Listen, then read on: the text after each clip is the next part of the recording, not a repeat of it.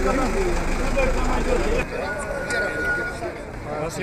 არის განაწილებული ყველაფერი სიმინდი და ურძენი პამიდორი თუ აბსოლუტურ სულ ყველაფერი გუში საკეთ კაციშვილს გუში საკეთ კაციშვილს არ მოუკითხნი აბა რა თადგეხართ რის ფინად გეხართ რა რატო გადაკეთეთ და რამე იმის თანხა მაინც გადაგვიხადონ რომ საკულაოდ სამომავლოდ ერთი 4 ჯერ უნდა შეწამბლა რომ ხალ შემოვიდეს და ვერახები კონდეს ზოგი სავაფშე არაფერი აღარ არის. ზოგისაც ცოტა რაღაცაა და რა ვქნათ რა გავაკეთოთ ის ბრალეულობას ხედავთ იყო თუ არა მესეთვეები მესეთვეები ერთხელ გაისროლეს მარტო?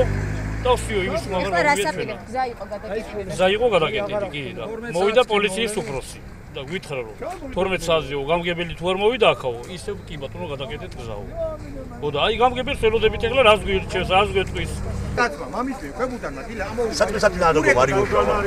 ეგ ერთი. ზოგადად 100%-ია გადადგურებული საერთოდ.